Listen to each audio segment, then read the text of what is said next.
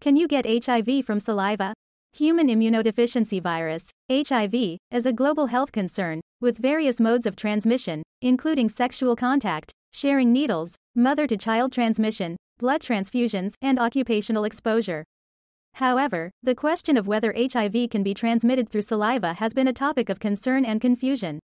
This video aims to explore the potential transmission of HIV through saliva, examining scientific evidence, real world risks, and effective prevention strategies. 1. Understanding HIV transmission. HIV is primarily transmitted through certain bodily fluids, such as blood, semen, vaginal fluids, and breast milk. While these fluids have been identified as carriers of the virus, the question arises can saliva also transmit HIV? To answer this, we need to consider several factors that influence HIV transmission. 2. HIV in saliva.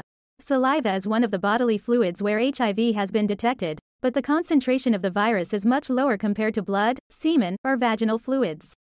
This lower concentration plays a crucial role in determining the likelihood of transmission. 3. Factors influencing HIV transmission. Several factors influence the potential transmission of HIV, including the viral load, presence of other infections, the existence of open wounds or sores, and the ability of the virus to survive or become inactivated in the environment. 4. Studies and research. Scientific studies have delved into the presence of HIV in saliva and the associated transmission risks. While some studies have detected the virus in saliva, the actual risk of transmission through activities like kissing or sharing utensils has been found to be minimal. 5. Real world risks. Instances of potential transmission through saliva are rare. Epidemiological data on HIV transmission cases rarely attribute the spread of the virus to activities involving saliva.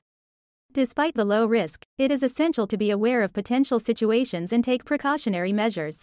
6. Prevention and precautions. General HIV prevention methods, such as practicing safe sex, avoiding needle sharing, and getting tested regularly, apply universally. Specific precautions related to saliva involve being cautious if there are open wounds or sores in the mouth, although the risk remains minimal.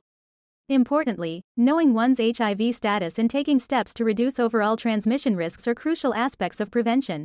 7. Myths and misconceptions.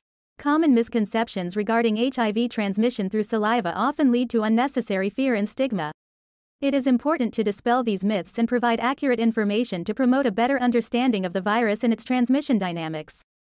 In conclusion, while HIV has been detected in saliva, the actual risk of transmission through this bodily fluid is remarkably low. Understanding the factors that influence transmission, being aware of real world risks, and adopting effective prevention strategies are crucial in dispelling myths and promoting informed decisions. By focusing on accurate information and education, we can contribute to a more comprehensive understanding of HIV and reduce the stigma associated with the virus.